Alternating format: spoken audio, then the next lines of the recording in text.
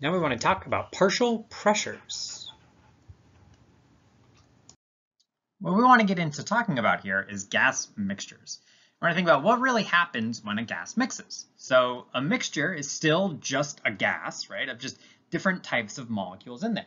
And so if we want to characterize that gas, uh, we can characterize it using the same properties that we've talked about before. Um, so amount, we know that the total number of moles, let's just be related to total molecules, uh, that would be just the sum of all of the molecules that we've added. So if we have, say, a, purple, a blue, and a green gas, A, B, C, if we just add those two numbers of moles together, we would get our total number of moles. For temperature then, um, all the different gases are all mixed together, so all of the molecules are going to be moving around, bouncing off each other. So they're all going to have the same average kinetic energy, and they're going to be moving with the same, you know, kind of uh, zip uh, as they fly around. So they're all going to have the same temperature. Um, this is the same idea we've talked about back in uh, chapter uh, five uh, about the idea that when two objects of different temperatures come together, they become the same temperature in the end. So all the gases are mingling, so they're all going to come to the same temperature. Similarly with volume, this is unique for gases, but all of them have the same total volume because they all fill this same box, right? So if you have this mixture of gases, um, the volume of the purple gas is the same as the volume of the blue gas, right? A, B, and C all the same volume because they're all in the same box. That's unique for gases that they do all fill the exact same volume. Again, they're mostly empty space, so the molecules can just kind of intermingle with each other. The final variable we'll talk about then is pressure. And so if we think about the gases when them by themselves, we know that if we had, say, that same volume, right, the gas is just going to fill the volume independent of whether or not it's a mixture or it's by itself. It's going to fill that volume, and each gas is going to have its own pressure right? There's a pressure for gas A, B, and C when they were, if they were by themselves. If we make a mixture, all of the gas molecules come together, we still have all the same relative numbers of the different molecules, and so they're all going to contribute to the overall pressure in the same way as if they were by themselves. So each gas, the purple gas, is still going to be colliding with the walls of the container in the same way that it was previously. And so there is a contribution of to the pressure from that gas C. So all of these pressures are going to add together when we form a gas mixture. This is overall described by what is called Dalton's law of partial pressure, which says that the overall pressure of a gas mixture is equal to the sum of what are called the partial pressures of each gas. So here we have an expression for it. We can see this P, this under the subscript tote, that'd be the total pressure, which is the overall pressure of the mixture. All of those different uh, types of gases combined together, which is the overall pressure of the mixture of all these different types of gases.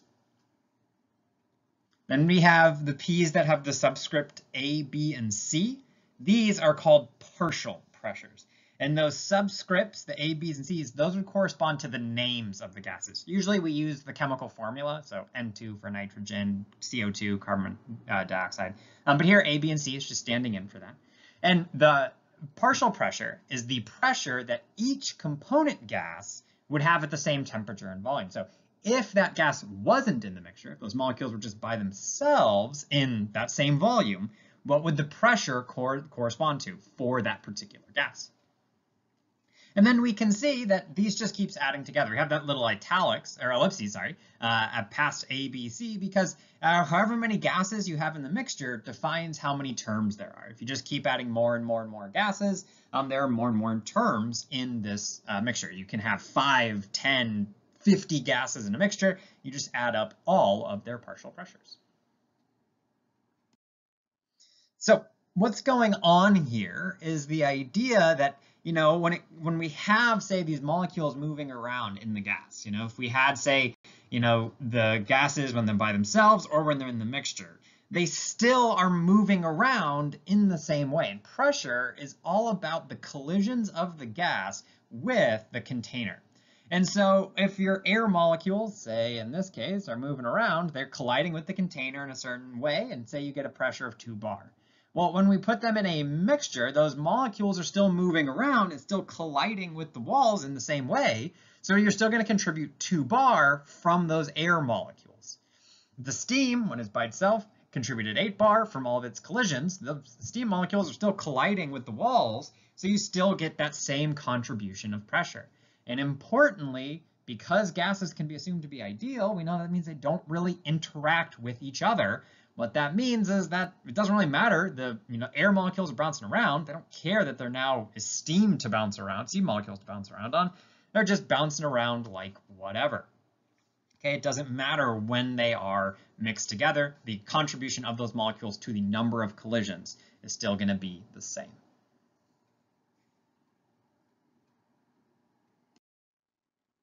Let's see using this in, in practice. So CO2 is added to a tank already containing N2 at 2 atmospheres and O2 at 1 atmosphere until the total pressure within the tank is 4.6 atmospheres. What is the partial pressure of the CO2?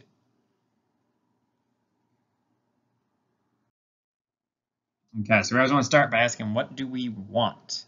You can see that in this case, it's the partial pressure of CO2. So whenever we see that word partial pressure, that should be, um, we know we're dealing with a gas mixture. We know we have certain equations, this Dalton's law for partial pressures. So we want to be, that is a key word to key in on, partial pressure. Um, when we ask what else are we given, we can see that there's a lot of pressure values given. A lot of times, we know one of the things we said previously was when you're dealing with gas laws, if you're asked for a pressure and you were given other pressures, that'd be a sign that you could use, say, a named gas law, Boyle's law, something like that. But one of the things you'll note here is that all of these pressures correspond to different types of gas. We had CO2 that we want, we're given an O2 pressure, an N2 pressure, and a total pressure. None of those are CO2s, implying that it's not some sort of consistent change of a sample of CO2, Instead, you're dealing with a mixture where everything has its own unique pressure. And so if we look at the pressures of N2 and the pressure of O2, because a specific gas is specified, that implies that those are partial pressures. Um, they're not labeled up in the prompt as being partial pressures. It just says N2 at 2 atmosphere. Um, but whenever you have a specific name, a specific type of gas at a particular pressure, that means that is a partial pressure. That is a part pressure associated with that type of gas in the mixture that you're looking at. And then the 4.6 atmospheres, that's after the CO2 is added. So that's the total pressure of the entire mixture, of the N2 and O2 you started with, plus the CO2 that you're adding. So we've got a lot of partial pressures. We put them together in Dalton's law. And so one of the things to note about Dalton's law is that it is going to, the specific form is always going to be based on the number of gases in your mixture. So there's three in this case. You would add three, those three partial pressures, N2, O2, and CO2, to determine your total pressure. Okay, so let's go ahead and solve it. We set up our Dalton's law equation. Um, we know that what we want is, you know, we add up all the partial pressures. We had three gases, one, two, three. So they each get their partial pressures included in the equation. Uh, we're always going to want to make sure that we include all the types of gases that are in our mixture. Um, now what I want to do is I want to solve for uh, the pressure of CO2. So what I'm going to do is I'm going to just subtract this side, these two pressures, onto the other side of the equation, isolate out the pressure of CO2. Um, and then I plug things in. The total pressure was 4.6 atmospheres. The N2 pressure was 2 atmospheres. My O2 pressure was 1 atmosphere. Um, and then I get an overall pressure of CO2 of 1.6 atmospheres. One of the things to note uh, that you'll see when you're doing this process, um, all of these do need to be the same uh, type of pressure unit. Here they're all atmospheres. Um, that works. Um, you can, uh, but it doesn't have to be atmospheres. It just can be any single pressure unit, bar, torr, millimeters of mercury, pascals, whatever it is. Um, but they all have to be the same. In this case, they're all atmosphere, works out, you get the 1.6 atmospheres.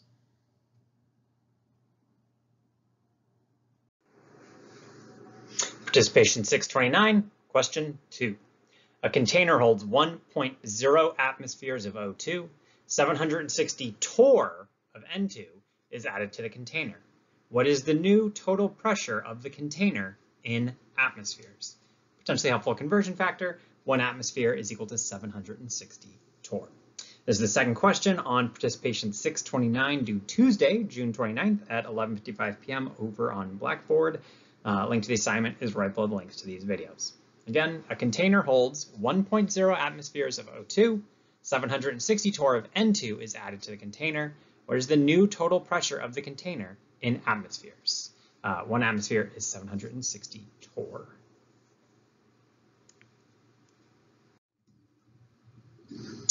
All right, two videos down, already found two questions on participation 629. Uh, made good progress, three more videos. See you there.